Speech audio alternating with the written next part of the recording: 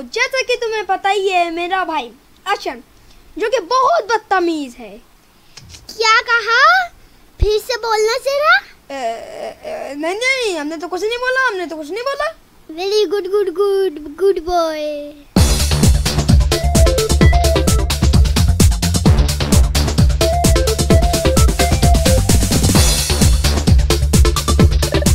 तो तुम्हारे पेरेंट्स हमेशा यही बोलते होंगे देख जब पढ़ेगा तब वो भी पढ़ेगा। मैं कहता हूँ ठीक है लेकिन जब मैं पढ़ने बैठता हूँ वो खेलता ही रहता है। मम्मी देखो ये सुबह सुबह उठते ही साथ मोबाइल चलाने लगा है। हाँ तो तो भी तो और सुबह सुबह उठते ही साथ उल्टा सीधा काम करने लगे हैं। और दिखाओ शादी